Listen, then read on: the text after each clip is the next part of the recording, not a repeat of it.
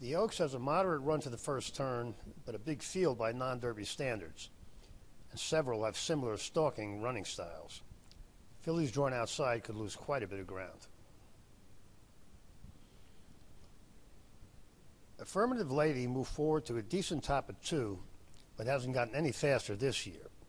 In her last, she saved ground, which made her effort look better than it really was, and she's not fast enough here. And Tell Me No Lies has yet to bounce as she moved forward slightly each time.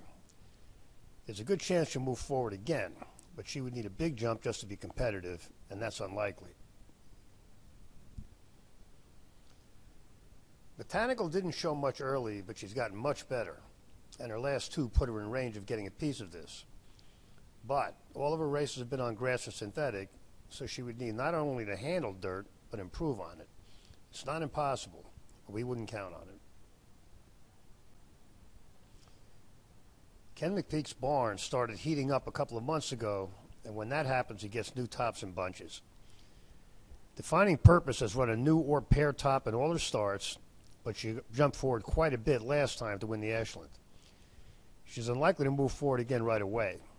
But since that top only represents three points of development from her two year old top, there's some chance she can pair that effort, which would put her in it. Hardcore Candy had produced slow to mediocre runners until Dorth Vader came along. This filly kept getting better as a two year old and threw a big one at Gulfstream two back. But she came a long way to get there, so that effort is likely to knock her out for a while. Flying Connection got better recently when she started going two turns, but she would have to improve to threaten here. Gambling Girl will be making her 10th start in the Oaks. She ran a new top last time, but after all that work, making another forward move right away is unlikely, and she would need one. Hoosier Filly has been overrated from the start, and at this point, her pattern is terrible. Dreaming of Julia ran the best figure we've ever given a filly, and her first fall won this race. Julia Shining is a full sister to Malathaat, and while she's not as fast as Mom or Sis yet, she did run a couple of decent figures as a two-year-old, and moved forward last time in the Ashland. She earned the best figure in the race after adjusting for a wide trip. We expect her to run at least as well this time. Pletcher has clearly been pointing her for this. She has to avoid another wide trip, but Julia clearly has the highest ceiling of anyone in the Oaks. Mimi Kakushi has never gone back, but she's also never run fast enough to contend with these. With a good pattern and lots of time, she could run a new top, but contending would require a big jump. Pretty Mischievous is the first of the two Godolphin fillies. This one jumped to a new top in February, then paired that effort in the Fairgrounds Oaks in defeat. She lost ground on both turns relative to the winner, and earned almost as good a figure. A pair of tops is a good pattern for a three year old, and with six weeks rest, we don't see why she shouldn't run at least as well this time. Pretty Mischievous is a very strong contender. Ray Handal has been going well recently, and he got a new top out of Promise Her America last time. But that was a big jump, and a bounce is more likely than a second jump, which she would need. Maybe it was the throat operation she reportedly had over the winter, or maybe Southlawn was just one of many Norm Casse runners that exploded over the last few months.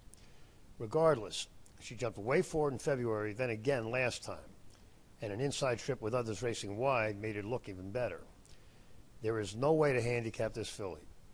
In conventional Thoro-Graph terms, she's coming off a three and a half point top that is 11 points better than a two year old top and should bounce.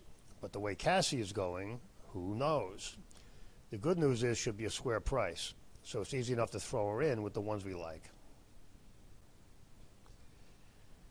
Taxed wasn't much last year and is better now, but after developing six points, she is still short of competitive. It's hard to believe she has more improvement in her right away. Since they took the blinkers off the alley's look in her third start, she's run nothing but tops. He's also had a lot of wide trips. That weak looking effort last time actually earned a pretty good figure. Since she was about as wide as you can be in a five horse field.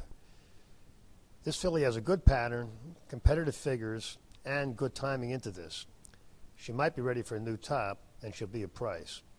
But we will like her much better if she draws inside.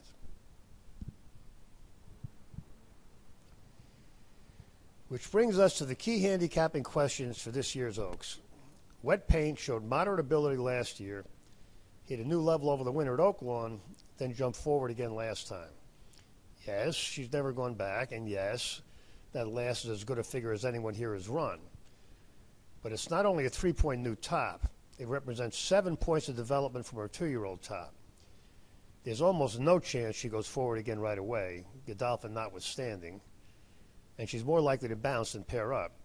And even if she can avoid the bounce, she'll have to deal with coming from, from far back in a big field. Wet paint is a vulnerable favorite. Wonder Wheel is a classic, precocious into mischief. She ran a big one for a July two year old filly, but hasn't gotten any faster since, and went back last time when she, when she should have gone forward. This one's not for us. The bottom line of the Oaks is that the big winners of the draw were Southlawn and the Alleys Look, because not only did they draw well, the main competition drew terrible. Pretty Mischief is still worth using at a price, but she's much less exciting from out there. The Alleys Look also won by subtraction. Saez tends to lose ground and come from behind horses, and he was responsible for those wide trips at fairgrounds. We like to switch to Castellano. I think this filly is the value in the race. The other contenders are Southlawn, Defining Purpose, Pretty Mischievous, and Julia Shining if she draws in and can avoid a terrible trip. Wet Paint is a contender as well, but she's a major underlay at a short price.